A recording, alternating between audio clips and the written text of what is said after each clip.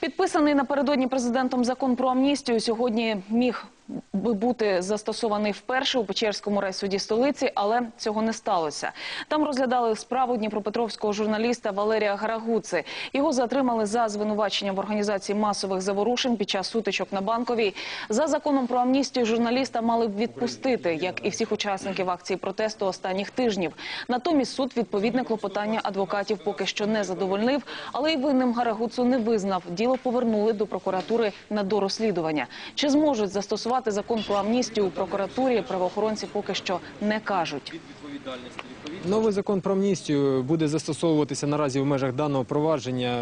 Питання щодо застосування буде розглядатися е, після того, як матеріали вже відповідно щодо даного е, е, провадження, щодо обвинувальний акт та угода поверну- будуть повернуті до прокуратури. Ми будемо звертатися а, з відповідним клопотанням. Я вважаю, що це клопотання буде задоволено.